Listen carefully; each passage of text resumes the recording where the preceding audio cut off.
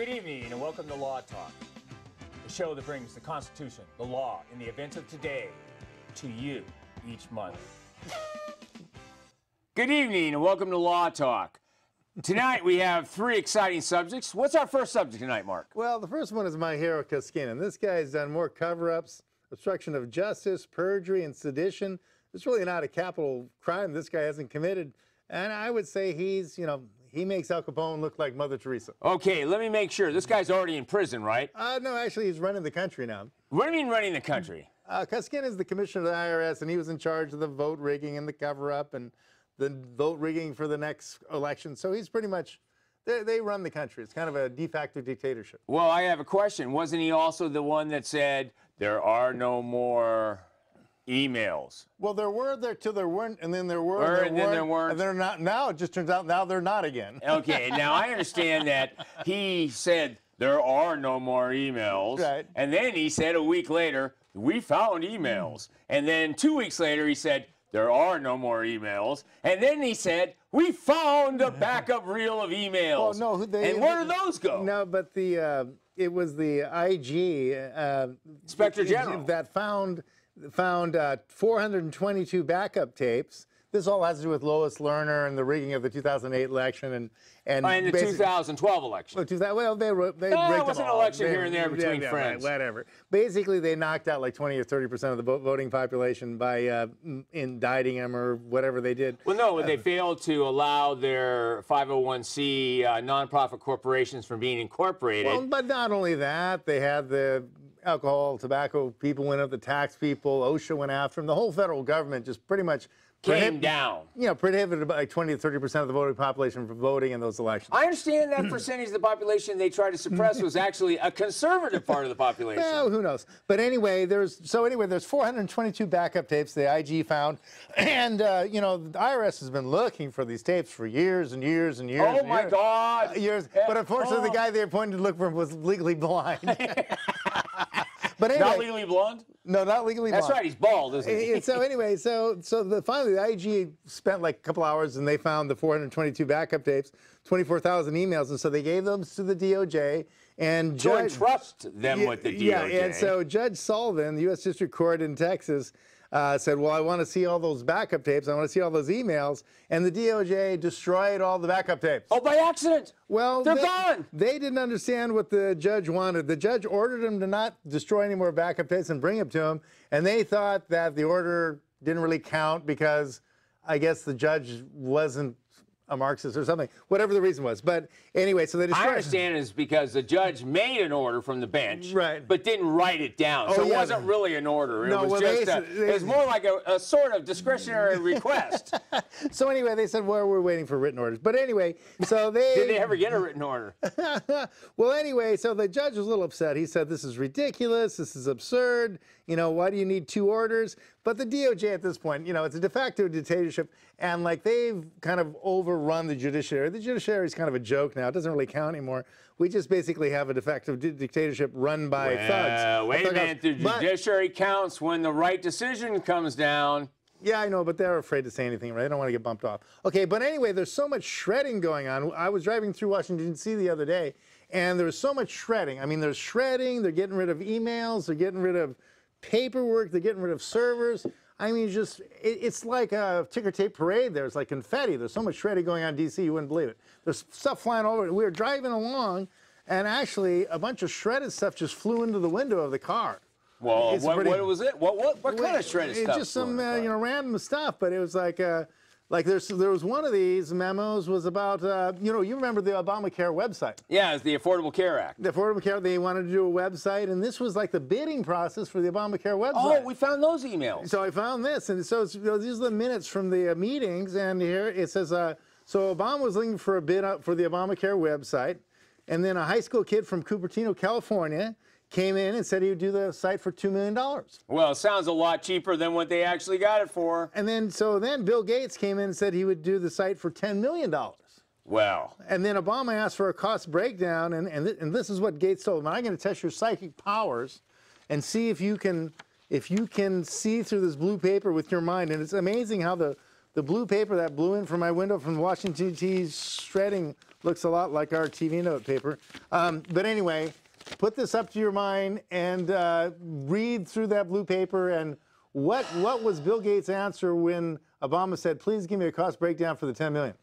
I I read that Bill Gates said, "I'm going to have to spend money on hiring new personnel, taxes for hiring the new personnel, liability insurance for hiring the new personnel, state taxes, federal taxes, and that's going to cost $8 million.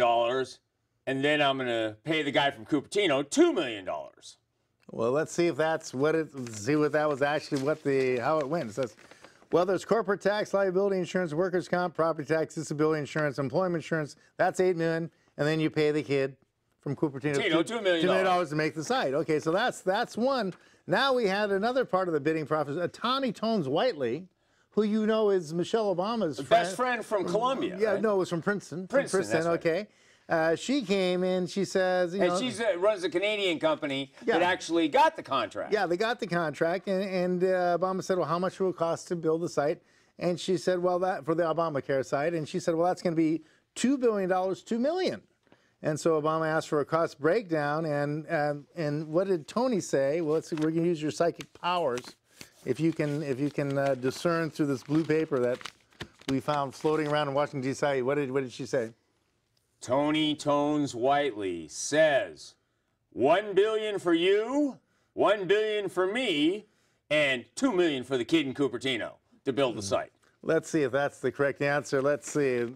Swami, Jim, a billion for you, a billion for me. And I pay the high school kid from Cupertino $2 billion to build the site. So that's kind of interesting. Then we found this is kind of a random email. There's a lot of stuff blowing around in D.C. I just don't understand how all these things can be blowing in around. It's windows. It's, it's just unbelievable. And this is a random email. It says from uh, Xi Jinping, head of the Communist Party in China. And it says to Puppet Obama, good work, Obama. You're the best puppet we ever bought. Like how you bankrupted America, put American debt to China, and dismantled America's military. Here's a billion dollar bonus. And then what? What did Puppet say to Z? Let's see if you can can, can discern through your psychic powers. I don't Read through- know. read This through is the a blue- tough one. Read through the blue paper Let and see me what he said. see if I can see through the blue paper. I believe our esteemed leader said, You've won. China has won many, many wars over thousands of years without firing a shot. By buying the despots of a variety of countries to ensure that they control those countries. And thanks for making me one of them. Okay, let's see if your psychic powers are working tonight. And here it says, puppet to Z. Thanks, Z. China has won wars without firing a shot for thousands of years by buying corrupt foreign despots. I'm glad I was able to get in on the action. So that's it's just amazing. There's so much flying around late, lately. And then You better keep that window open. Who knows what we're yeah, going to you, find you, next? you never know what's going to fly in next. But um, so anyway, now we've got Ashley. They're doing some other uh, things. Are coming up lawsuits, and the IRS is actually doing uh, tax audits against political opponents, and they're saying they did, uh, you know, uh, five times as many tax audits against, you know, than the, Conservatives. then they then they, they, they in the last 15 years. So they they've done they've done more and more audits. So before they were just saying you can have your 501, you they were closing down your businesses, they were destroying your career and your reputation. Now they're auditing people to death. So basically, the FBI and the well, the, I'm just saying the IRS is pretty much completely controlling the whole voting mechanism, and so they're the de facto uh, portfolio of the of the country now. And so it's kind of set up like a Soviet gulag. You have, you know, uh, the wardens who are Obama and Bonner and, Bonner and all those Boehner and all Boehner. those those guys are all the wardens. You have the guards who are the federal and state employees. You have the trustees, uh, all the people on corporate welfare, all the people that are on union welfare, and then all the people that are, you know, paid welfare for votes, basically. Their job is to complain that the prisoners aren't breaking rocks fast enough. And then you've got, you know, basically 20% of the population who actually work for a living. They're breaking the rocks, you know, why the other people live Yeah, off the well, fat ground. I, I think what we have to do, Mark, is here. Um, first of all, I don't want to be breaking any rocks, so I think we better move on to our next subject. so- and what is our next subject tonight, Mark? Well, see, when they first wrote Article uh, Article One, Section Eight Uh, Congress was supposed to have the power of the, The tax and spending clause tax we're talking spending. about right now.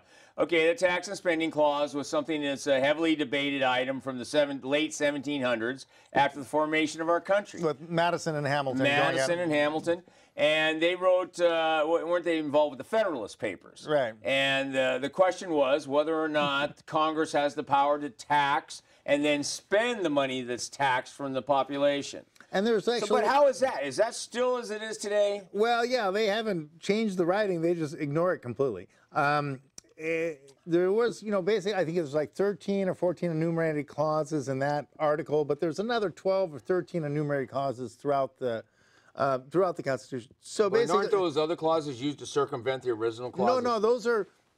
There's like little things about post office and education. There's things that are actually there's about 36 enumerated clauses. In other words, there's they actually have a number, and you can actually point to them and say this is a, this is where we get our spending power from, right? Now those enumerated powers are the only things that the federal government's supposed to spend money on is allowed to. Everything else goes to the states, and basically what goes to the states is police power and health and safety, right? And what the states don't have goes to an individual, right?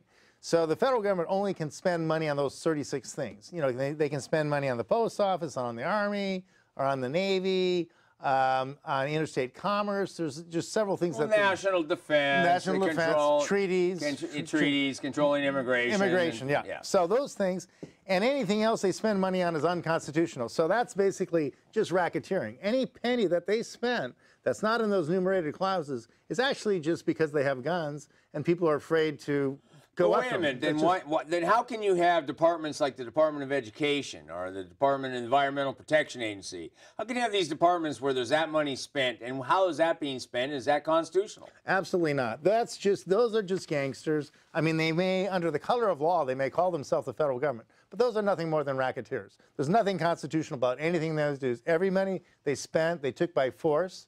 And actually, what it comes down to, the people taking that money by force, that's actually human trafficking. Because the definition of human trafficking is to take money by force and force people to work for, for something that, for nothing. And so actually the IRS and the federal government, when they spend money in this unconstitutional manner, if you look at international and national they're involved in human trafficking. Well, Much okay, less- so much less being so government minute, Wait a minute, wait a minute. Let's. This is a little complicated, so we better start thinking about how the. If you're talking about Congress has the power to tax, Right. Congress has the power to spend, but the way you're describing it, it sounds like all that's being everything after tax is actually Congress is being circumvented by Well- all these administrative agencies. No, but I mean, the, that are Constitu- actually- the Constitution is quite clear. The federal government is restricted to spending money on the enumerated clauses. so why are they spending money on all these other things? Where's Because- education as an Well, enumerated because the, clause? co- because the country's been overthrown. First of all, the votes have been rigged, and the country's been a. This is no longer a constitutional republic. We're in a de facto, basically a Soviet gulag or uh, you know a dictatorship.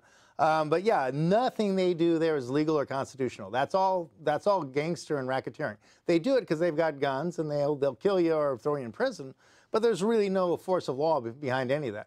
All those things they're doing, the things in health and welfare, Obamacare, all that, that's all should be done by the states. Okay, so to the then wait a minute. So when the, the, states, state, the states when has the, when police the powers. individuals are, say the individuals in California are all taxed, that all the money from California gets sent to the federal government. It's supposed to be redistributed back to the state of California. You're trying to tell me that's not happening? Well, that see, there's different political uh, mechanizations and kickbacks that go on with that, and like I'm, I'm saying, like we demonstrated before, every time you have a kickback, billions go into the pockets of the politicians, and maybe uh, some of the pocket change falls to the people. Um, but anytime you have some kind of kickback scheme where, okay, we're going to take money from California to pay for someone who needs health care in Florida or something, most of that money gets stolen by the politicians or the unions or whoever's whoever's handling All the money. middlemen. All the middlemen. You know, so there's nothing less. If you look at all these things, they're about 95% inefficient. You know, so like for every dollar spent, maybe a nickel goes to the poor person and 95% goes to the person who like, wah, wah, wah, I felt sorry for that poor person, so I took 95% of his money feeling sorry for him, right? That's the Well, government I'm job. glad they felt sorry for Yeah, him. that's what At least they felt sorry for That's him. where they get the money. So anyway, but I but I think this, the states have a right to do all these things. They have they, there's no enumerated clause on the state. If the state wants to say everyone makes hundred dollars an hour, and everyone pays 100% income tax, the state can do that. There's no reason they can't do that. There's states can do whatever they want. There's no real restriction on it. But the U.S. Constitution puts these restrictions on federal spending, and there's no reason that the federal has invaded the states states Well, prerogative. that's under the Tenth Amendment. The Yeah. states are protected under the Tenth Yeah, well- Amendment, supposedly. Well, the thing is, but it's mainly the enumerated clauses. It's like you can't spend money on that, and so now Congress has been completely usurped, and there's like all these things that, you know, if you if you don't want Congress to spend something, Congress can't stop spending now. They have no longer control of the purse. Okay, Medicare can't be stopped. Uh, you know, border situation can't be stopped. Congress can't can't can't withhold funding for these because they're self-funded.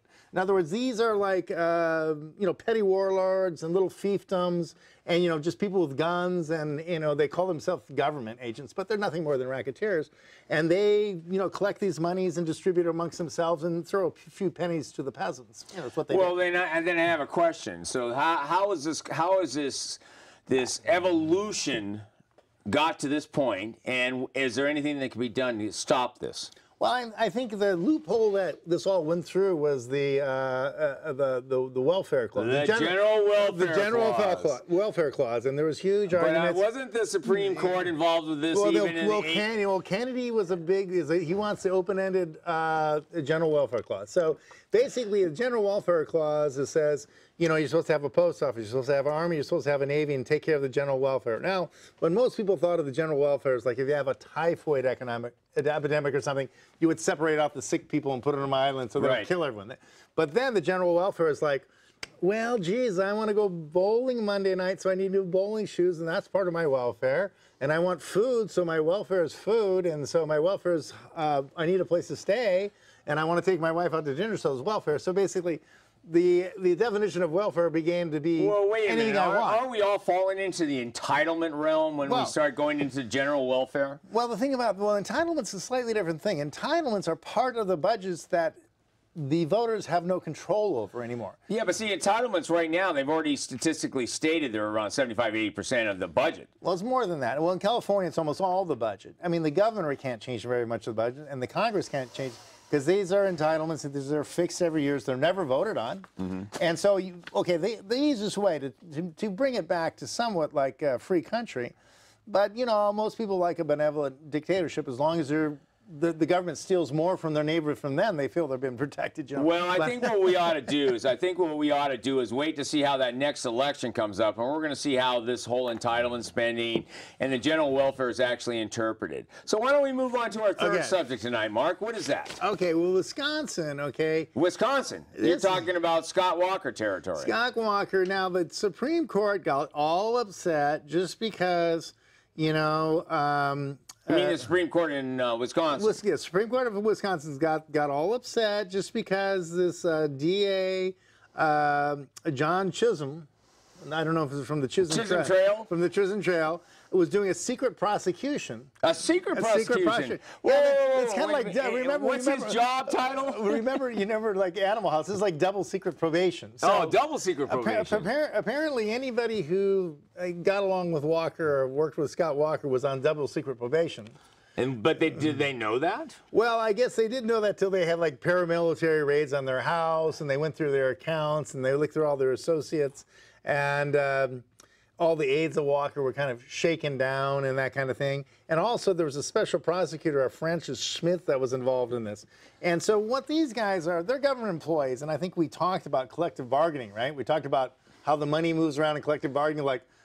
I hire you to hire me, and we just kind of take taxpayer money and pay each other a raise every 10 right, seconds or right, so. right. And that And- way, and- yeah, as long no as I keep hiring you, I'll pay you more. Yeah, yeah. So Yes. it's a kickback scheme.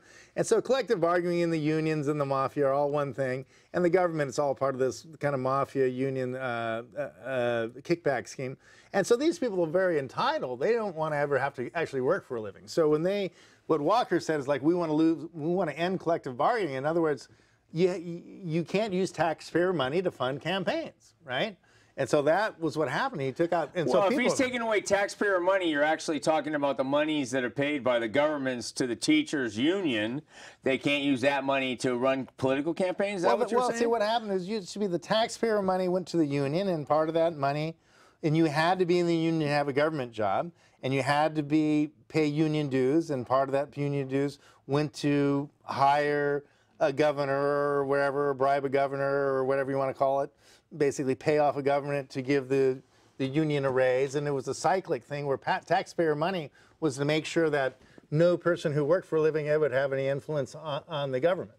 Well, you know, the only problem with that is, is that uh, I know Scott Walker came in and into Wisconsin, and he and took he, he took a, he, took, a, he took a beating. He took a beating, and they tried to throw him out of office, but he beat he won. No, they tried to impeach him. They brought the Supreme Court against him. They did everything. Now they and then when that didn't work, they did these secret prose, uh, prosecutions, looking did, for evidence. They did the midnight raids. They uh, they intimidated people. They they indicted them. They did this so they pretty much pulled every trick in the book, you know, to try to make sure that they, they never would have to work it again for a living. And you've got to understand that, you know, this is a big class of our country. There's 20% of the, of the country who are basically like prison guards. They're the government employees. They've never worked. They never will work. If they didn't have a government job, they starve because they never make that kind of money in private enterprise. And uh, they feel entitled and they're willing to go to great lengths to protect their entitlement. To, to protect their uh, protected position or their, their special positions. And the abolition of free speech and the vote, that's, that's nothing to them. Um, you know, they, the justice system was used to punish political opponents. And uh, most of the tax money you pay is embezzled. And what's not embezzled, it's used to crush any uh, opposition. Well, not only crush any opposition, but any entrepreneurship. You know, they don't want you starting a business or doing anything. They want everybody on welfare, bowing to the government, you know, and either working for the government or bowing to the government. They don't want any entrepreneurship. They don't want any private enterprise. All those things are considered bad because those might upset the apple cart where they get all the apples and the few little crumbs that fall down to the peasants, which are the citizens and the taxpayers, those little crumbs that fall off the table, you know, they don't want to have to give them a whole slice of apple, you know. So, yeah, well, that's uh, that's unfortunate. But see, that's also is represented in the demise of unions across the country. They've been union union membership has been dropping dramatically. Well, but not in the government. Not in the government. That's the, the last only union that's growing is like the SEIU and yeah. the things that are all government agency type uh, groups. And funny enough, it's interesting how yeah, they're the ones that are they're the one they're the last bastion of basically of unionism. Well, it's really a feudal system, right? right. A, they're warlords, they're like petty warlords, and there's dif different fiefdoms, right? They extract um, conscription and taxes and slave labor from the peasants, and then they live this life of luxury. And you know, so it's it's actually a feudal system. Well, the the, the problem with that is is that uh, once again, as we talked about the collective bargaining, collective bargaining, it comes back to the idea that you you you elect me and i'm going to give you more so the only collective bargaining is together we're making a deal that you put me in power and i'll give you more money well, you know, it, like I said, it, it harks back to, you know, war, petty warlords. And that's pretty much what I, you know, we used to have a constitutional republic. Now, people said this is democracy. It was not designed as democracy. It was never designed as democracy. Okay, and the thing about a democracy is basically mob rule. I mean, if you have five guys that want one person's food, they kill him and take his food. In a republic, everyone's supposed to be treated equally under the law. Everyone has equal rights. So a republic is a much more sophisticated system than a democracy. If you have a pirate ship, that's a democracy, right? If you have a republic, everyone has equal treatment under the law and they have rights. So minorities have rights.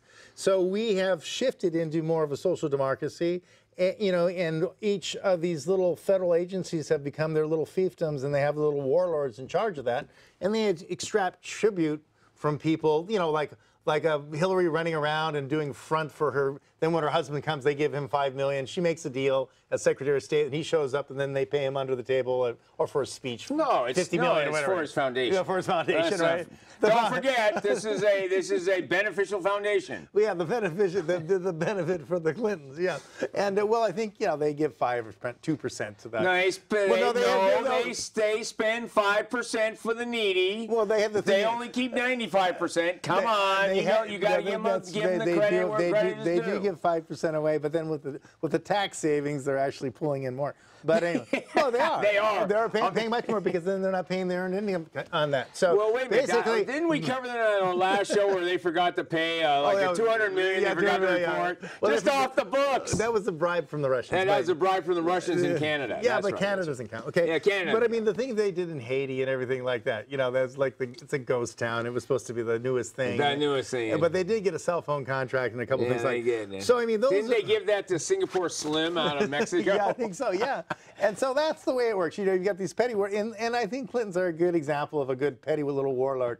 They go around extract tribute from their peasants, and you know, people bow down to the queen, and if you don't do what you say, you you get a Vince Foster or or a Ted Stevens. You know, you Well, end up- they get out of the way. You either go fishing or, you Or end you don't up, come back from you- an airplane ride. or yeah, you're right. You go fishing or you you fall into the fountain after you accidentally shoot yourself with a with a gun- yeah, whatever. with a gun that you can't even find. So yeah, so those things are how it's running now. So, um, but the Supreme Court did stand up for this. I'm pretty proud of them. In this day and age, I'm really shocked that a Supreme Court Okay, has the so nerve wait a to minute. do So that. let's go back to the beginning. So the Supreme Court of Wisconsin stood up and said, told the prosecutors, you can't do that." You can't do this because number one, it's warrantless search, and so you're protected under the Fourth Amendment. It's freedom of speech protected under the First Amendment. And instead, the prosecutor, what did he say? Did they stop doing paramilitary raids of Scott Walker's uh, aides and uh, supporters? Well, I think they put an end to those. They, they put an end to those things, but those were going on for some time. You know, this is I know, but it's four or five years. nonstop. Yeah. And, and what was interesting was this was reported. It wasn't anecdotal that was happening. They were having paramilitary raids on the aides of Scott Walker, where they'd be coming in pre-dawn, kicking the door open, shooting the dog, or whatever's going on. But they're armed with heavy weaponry, and they're taking computers out, ledgers out, as though somehow Scott Walker's aides were running a RICO criminal organization instead of being campaign. Well, I mean, I think that is pretty much true. That if someone wants to upset the uh, this this kind of government, uh, uh, what do you call it, feeding at the trough? You know, if, if someone wants it, that's that is considered, you know, the most terrible thing to these folks because my God, they might have to go out and get a job. You mean they might have to work? Yeah, they might have to work, you know, for a living. Yeah, if you don't, and- I mean, wait a minute. I, I don't know about you, Mark, but I, I know every day I have to get up and go out for a Hey, job. You're a sucker. Yeah, but I'm a sucker. But I, we're part. Aren't we part of like the the 10, 15 percent of the people that Yeah, actually we're, work? we're the ones that have to break the breaking the rocks. We Yeah, break breaking the- rocks. we're breaking the Hey, rocks. you, you break rocks faster, you know, and Yeah. stop complaining. You know, Stop complaining. Break, break yeah, yeah. rocks. Maybe we'll give you another cup of water if, if you break another couple of rocks. So yeah, so that was I was impressed with the Wisconsin Supreme Court, and and also. But wait a minute, I have a question though. Are the is the are the district attorney appealing this to the to to the circuit, the next circuit, the Court of Appeals? Um, I'm not sure where this is going. I'm not sure if he. I, I don't know if that was the kind of action this was. I think I think it was more like a restraining order against. them. Oh, restraining So order. you, was- or they struck down the, the investigation. Um, I mean, I think maybe tomorrow we could start a new secret investigation with a new reason. Okay, well, you why don't we do this? Why don't we wait and see like how this plays it's probably out? like those whack-a-moles, you know? Yeah, well, we'll see how this whack-a-mole plays out, and I want to thank you for joining us tonight with Law Talk, and I will tell you, Mark, it's been very well, enjoyable. You know, and the thing is, you know, it's surprising how many of these things are flying around. I don't know how many... how